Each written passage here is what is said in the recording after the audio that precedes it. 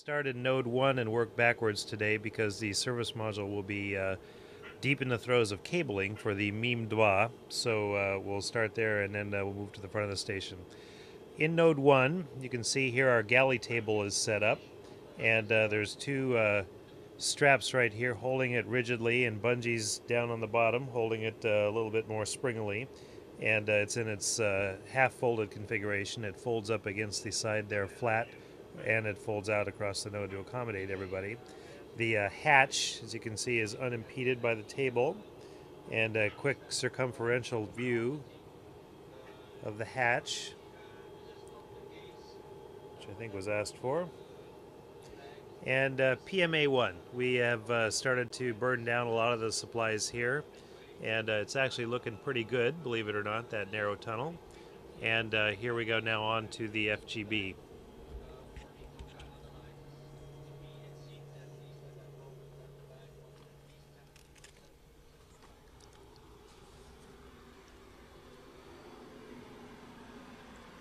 Now, I'll make a note that uh, Gennady has uh, just gone to Herculean efforts to clean up the FGB, uh, stow things, get rid of things, and uh, I would say that it's not looked better than this for an awfully long time.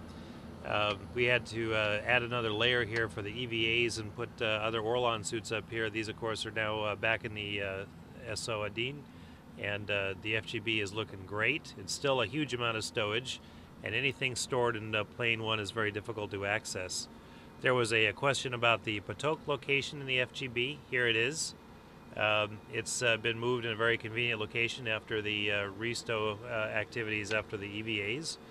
And uh, down here we have, of course, several YDVs, disassembled KTOs.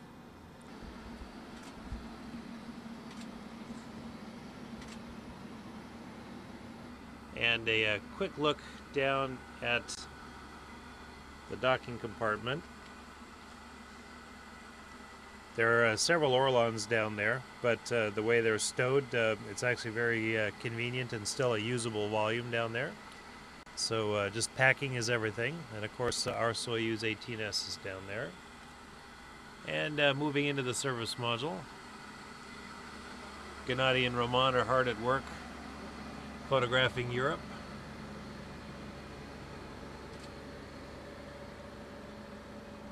And the service module is looking uh, very clean these days.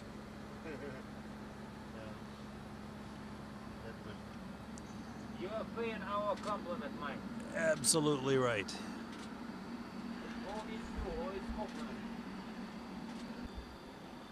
Now, uh, moving back uh, forward through uh, the service module, um, again, uh, there's been really major efforts to uh, clean things up in here and the service module is a very clean module right now. Uh, the galley table, we take uh, breakfast here and lunch here typically, and uh, reserve dinner for the U.S. segment. And service module uh, walls, planes uh, two and four, have been uh, massively cleaned and tidied. And we'll go ahead and move back forward now.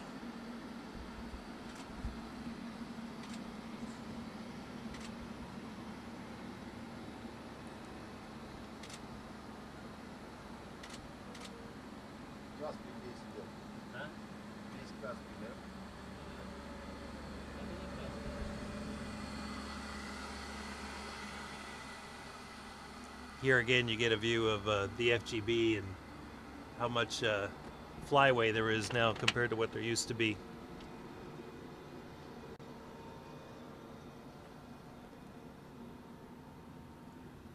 This is the uh, hygiene station, which is uh, something all the crew members used at first. Uh, now uh, just Gennady and Roman are using this, and the U.S. segment guys are pretty much using the WHC and uh, this is working out uh, fairly well.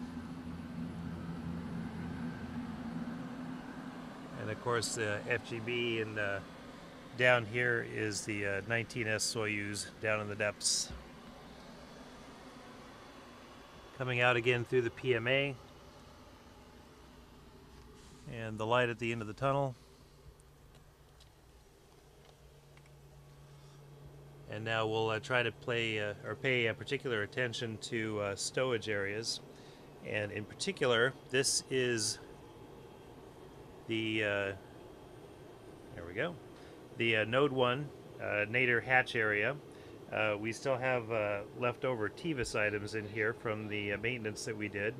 And then uh, looking starboard along the, uh, the hatch area is uh, a collection of CWCs.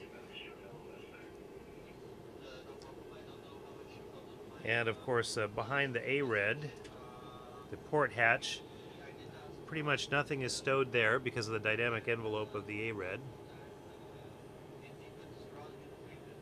And uh, let's take a look overhead. So the uh, zenith hatch area, we had done a lot of uh, pre-staging of trash here before the last progress. And uh, this area is, of course, I think slated for uh, stowage for 17A.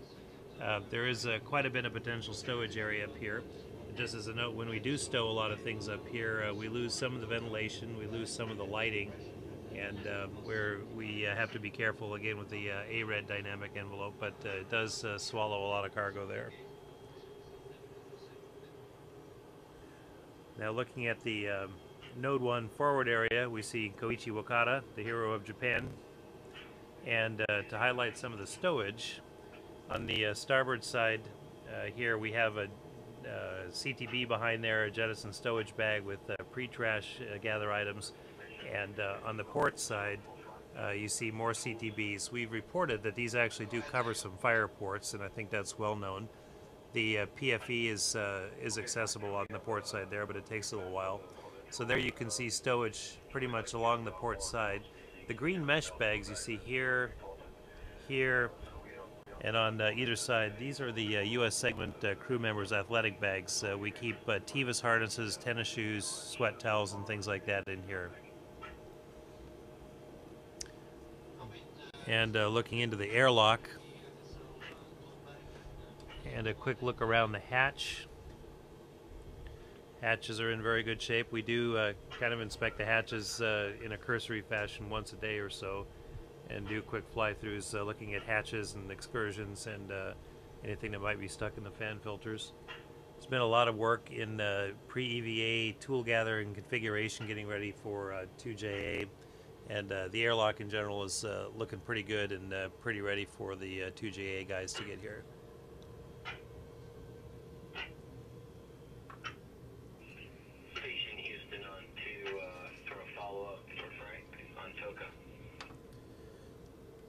The uh, crew lock is uh, full of tools and many workstations are all configured and ready to go.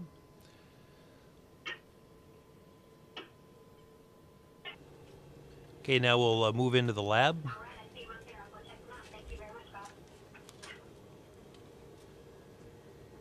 And a quick look at the uh, hatch seal around.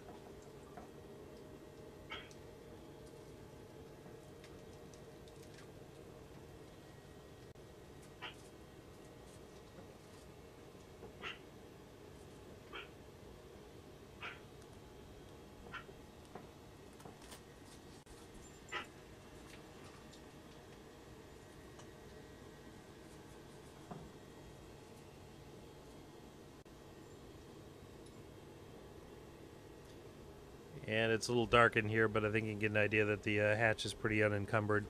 And I will highlight the fact for the stowage guys that uh, we do have some food deployed up here. Uh, we've been marking that in the database as uh, Node 1 Starboard uh, 1, and um, we uh, turn this over similar to what we do in the service module here.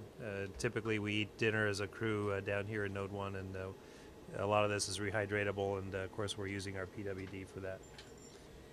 We're moving into uh, the lab now, the U.S. lab.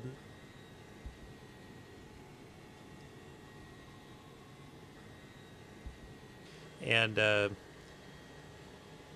notably uh, the RWS over here and uh, SSCs on either side of it, eight on the left, five on the right.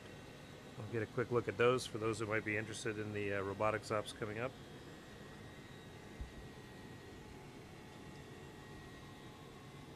We've uh, done several robotic operations uh, in Expedition 19, and uh, those worked out very well with this arrangement, using the SSC-5 as a uh, procedure machine, and SSC-8 over here as a DOUG machine. And looking back quickly at the uh, hatch arrangement, see the hatch is clear.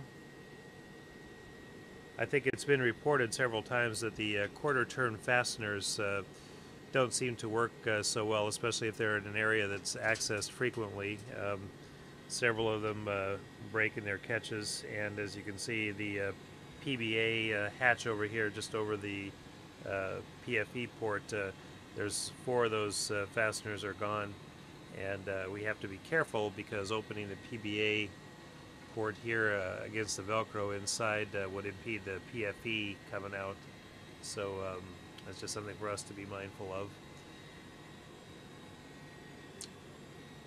and uh, we keep our TVIS, uh, TVIS cards up here just above the MEC so that it's convenient for us to come in and get them read after TVIS exercise and in the uh, MEC and then put them back. For uh, stowage guys, again, we've reported the location of the uh, food warmer. I think we've sent a video down about that as well, but uh, here again is where we keep the US uh, food warmer. And the uh, cupola robotic workstation.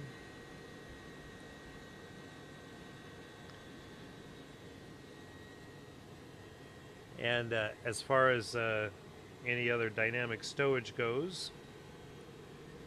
This is our pre-staging area for uh, 2JA, the uh, lab overhead 3 location. It's fairly packed right now with uh, items ready for uh, the uh, 127 crew. It was a, a, uh, good location. I think it's worked out well for us. We could probably stuff a little bit more in there. Mostly CTBs, ECOCs, JSBs, as you can see, there's some uh, food containers there all bundled up and ready to go.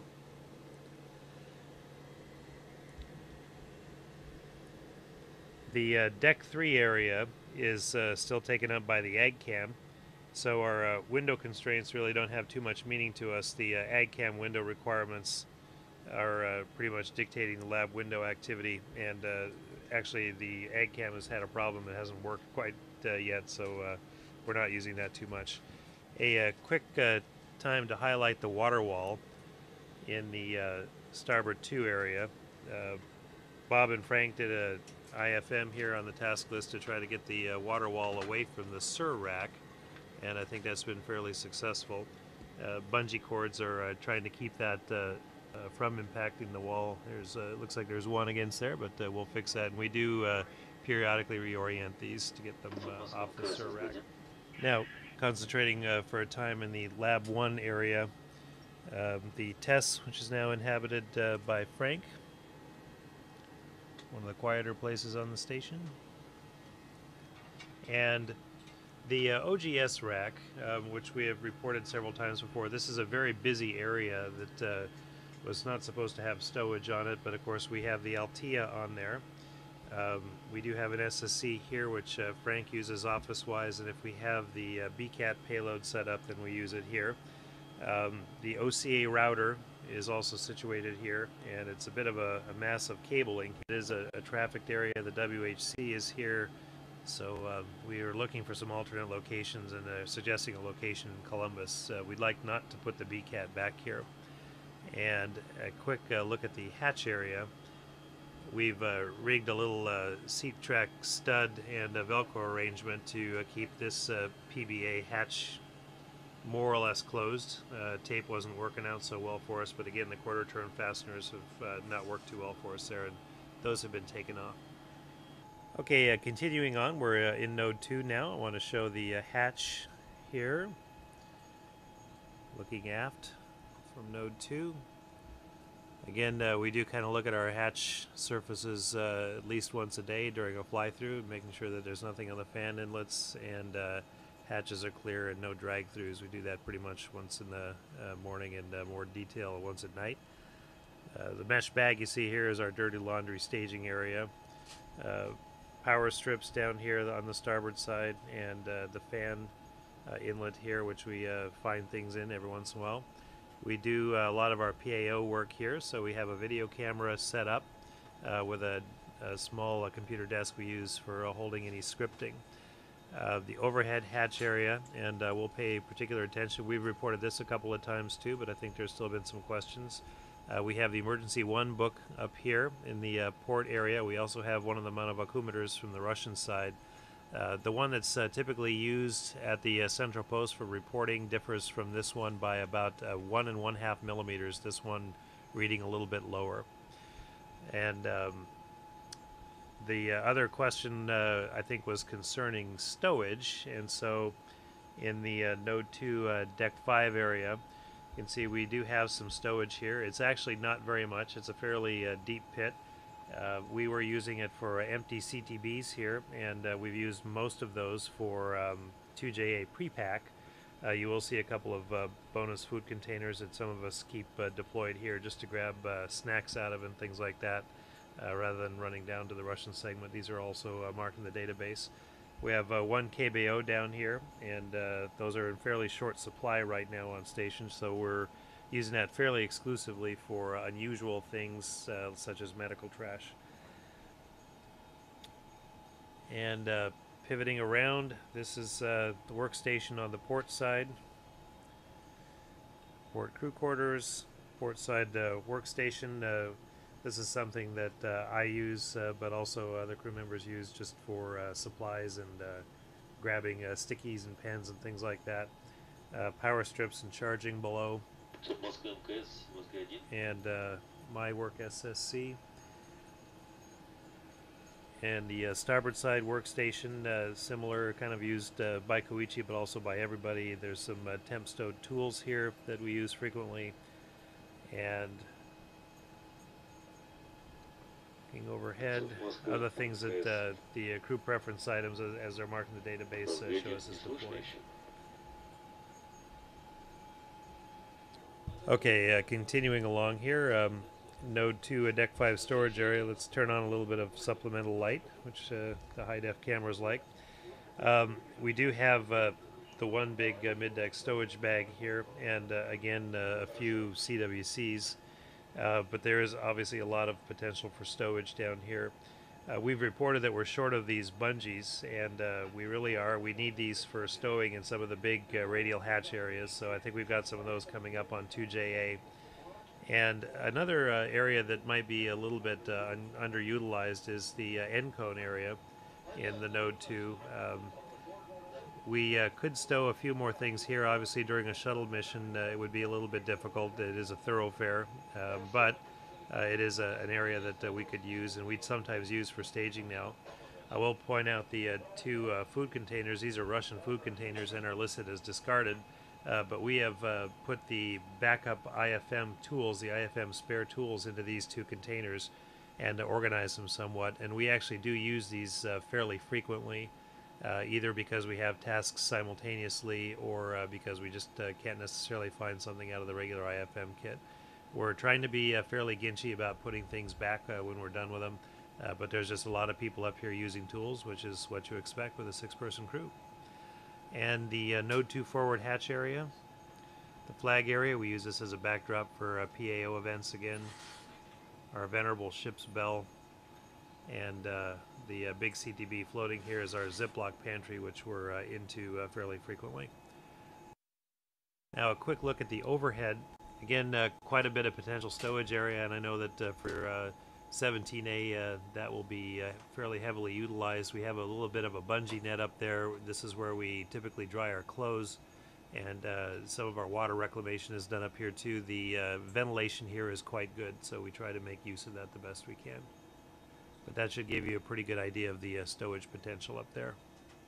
And moving quickly into the JEM, still the tidiest, largest, quietest module we have here. It's a pleasure to work in here anytime.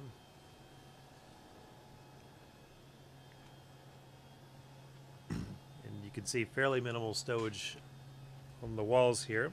We'll pause for a pause for a quick moment here and show um, Bob's uh, sleep station. Bob has been our uh, displaced refugee without a uh, sleep quarters of his own, but uh, he's made very good use of uh, this location. And we have the water wall behind there, which we've set up to give Bob some radiation protection and, of course, as a bit of a standoff to protect the shell heaters back there. And this is all empty space behind there in the forward two location. And uh, looking up in the uh, empty bay here, you see uh, soft stowage Japanese style with the uh, the straps up there, which actually are working out very nicely. They're very easy to access, and uh, we have no problem getting stowage from up here. Okay, and a, a quick look back at the uh, hatch area, the JEM port hatch area, very clean, very accessible.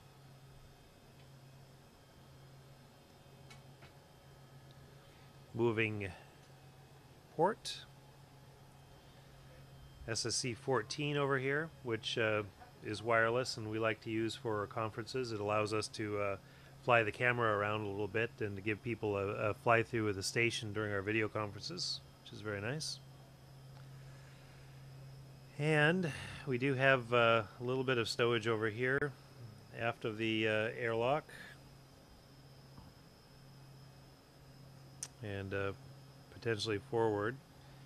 I think crew members have slept at both of these locations before, and of course, this is an area we use uh, also for PAO and uh, for uh, some of our photo events because we have the magnificent window behind there.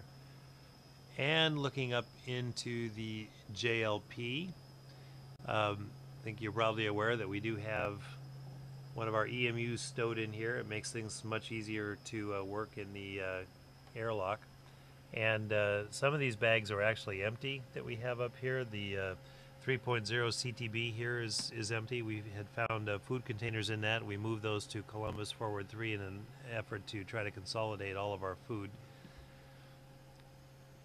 As the other EMU that was already uh, stowed up here, the uh, robot uh, trainer, and uh, Bob has also been using this as kind of a, a private area for cleaning or for hanging laundry and uh, dressing.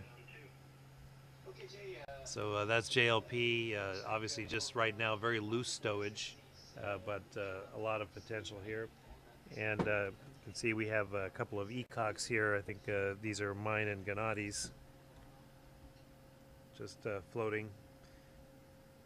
And back down we go.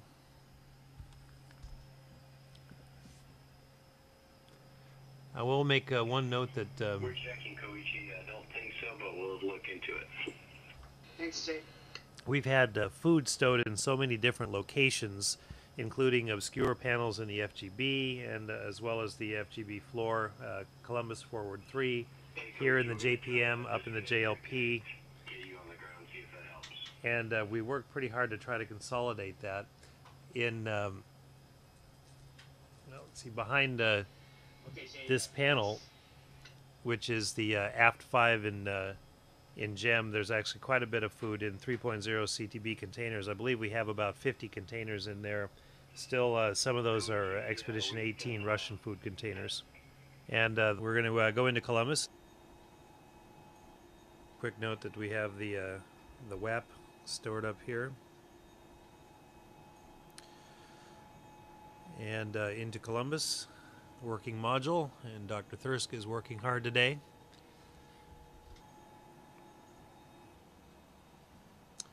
And uh, we'll first uh, swivel around since we're talking about the hatches. And the uh, Columbus port hatch ring, unencumbered, seals in good shape.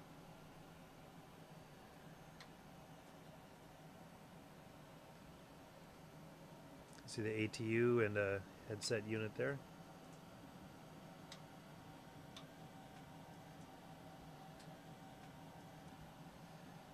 And uh, we've reported in the past that the uh, hard shell covers for the PFAs and PBEs in here, uh, A, don't seem to fit, and B, don't seem to uh, protect. And uh, if anything, they might be a little bit more in the way than, than uh, helpful. And we might be looking for some alternatives there for storage. I think probably the only thing you really need covered is that uh, PBA there, and perhaps, or I'm sorry, the uh, the magic mask itself, and perhaps the uh, top of the PBA. But uh, otherwise, uh, these are low trafficked areas and uh, fairly safe. And with regard to stowage, Um, the only thing uh, that we would consider soft and dynamic stowage in here is probably the uh, Columbus Forward 3 area. We reported that uh, we've tried to consolidate our food rations here as much as possible. So right now, we are stored in the uh, JPM where I showed you before, and here in Columbus Forward 3, as well as the FGB, and uh, no other locations besides deployed. We have had a beta cloth cover on here, but since we access this quite frequently, uh, we've just used the bungee trap here, and that's worked for us quite well. As you can see, there's still uh, quite a bit of Expedition 18 uh, Russian food here. There's, uh, on this date of uh, June 18th, we still have about 17 or 18 uh, containers here and then a few more in uh, JPM. So we're still not quite done burning down the uh, Expedition 18 containers. Uh, but this area does uh, serve as a very good uh, staging area for food. It's easily accessed and easily reorganized as needed. And looking very quickly at the starboard end cone, some storage here beneath the power bus distribution and the caution warning panel. Same issue with the uh, PBA covers and the uh, PFE covers here on the end cone. Uh, not too helpful, but uh, this is a very low trafficked area. This happens to be our recommended location for uh, setting up BCAT again. Uh, over here in this area, which again is very low traffic and certainly nobody lives here. And I think that maintaining access to the emergency equipment would be quite simple. This also fulfills the BCAT's requirement to be oriented in the uh, x-axis in general. So uh, that is Columbus. Turn around and uh, get a panoramic view of the module from here. There is a lot of uh, science going on here now, so uh, we actually have a lot of uh, temp stow on the walls compared to usual. Usually the walls here are fairly clean.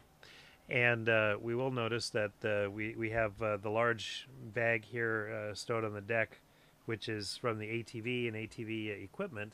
Um, this is probably a very good staging area for large bags during STS 127 that we can get them uh, straight in the door, relieve the mid deck of their um, uh, big stowage burden with the big bags, and just pre-stage them here without messing up the works too much in Columbus. Columbus remains a very functional module, even with the big stowage on the deck there. And I think that wraps up uh, what uh, people wanted to see with regard to hatchways and uh, stowage. And, uh, of course, our uh, look in the Russian segment. And while we're coming through here, we'll just take another view of the um, Node 2 Deck 2 area. Again, uh, a fairly cavernous volume with a very nice window view we sometimes uh, we take it for granted, but uh, we often uh, do our phone calling strung from the bungees overhead here and uh, looking out the window below. It's a it's a very nice view, and this of course is where the EarthKAM uh, payload is deployed. So stowage here would of course uh, preclude that payload from being deployed here.